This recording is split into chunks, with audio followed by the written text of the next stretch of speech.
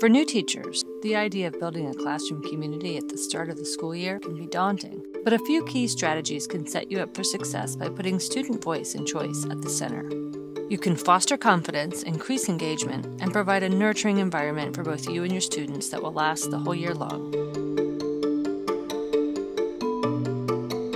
The layout of your classroom can communicate more than you realize, from power dynamics to social values.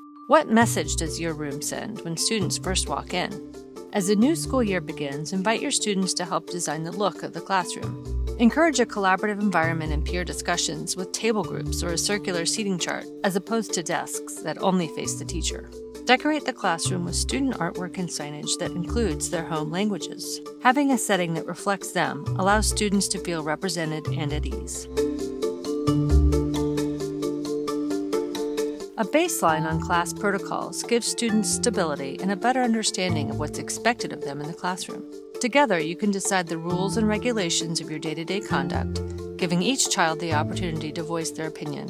Involving students in the creation of the class's social contract will not only help them feel empowered, but also encourage community and accountability amongst their peers. Once the contract is drafted with everyone's input, have students sign and agree to abide by these shared classroom rules. Hang the contract in an area where everyone can see it to be a gentle reminder of their rights and responsibilities. While collaboration and participation are key elements of classroom culture, giving students time and space alone is an important part of helping them recharge. Create a peace corner, a designated area for self reflection and meditation on one's thoughts and emotions. If a student feels overwhelmed, dysregulated, or is in need of solitude, they can go to the Peace Corner to calm themselves and regain clarity. Remember, a peaceful place is a positive area for reflection rather than disciplinary action, such as a timeout. Creating routines for discussions in the classroom gives students the opportunity to voice their opinions in a respectful manner and learn what is acceptable and expected of them during conversations. Exercises like morning meetings give each student a chance to speak and encourage active listening.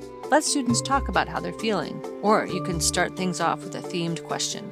Making this a daily practice will build a level of comfort that can get even your least talkative students involved. For older students, Socratic circles are another way to build engagement and encourage participation. Give students a topic to discuss. Encourage respectful disagreement where students can share their opinions without fear of being interrupted or chastised, but with the knowledge that others may have opposing beliefs. Putting students' voices first by sharing the floor as often as you can will open up space for them to empower themselves and one another.